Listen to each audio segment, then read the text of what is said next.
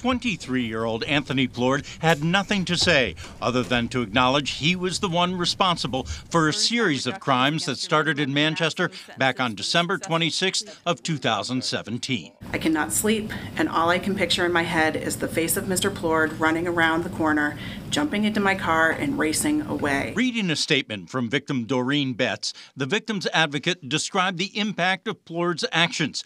Betts had her car stolen just after 9 a.m. as she was getting ready to leave for the day.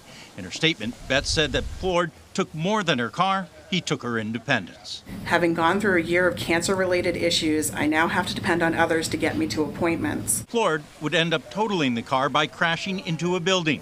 Then he went and carjacked another car, forcing a mother and her 12 year old daughter out of the vehicle as they waited for a prescription in the pharmacy parking lot. The Defendant walked up to the driver's side door, opened the door, and yelled at her to get out. He hit her with his right shoulder while trying to remove her from her vehicle. Plourde then sped off.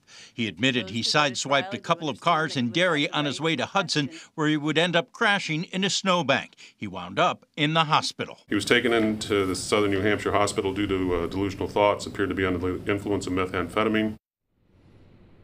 Plourde has agreed to plead guilty to crimes in Derry and Hudson as well, but according to the plea bargain, his sentence will be concurrent with the five to ten years he was sentenced to this morning. Reporting live in Manchester, Ray Brewer, WMUR News 9.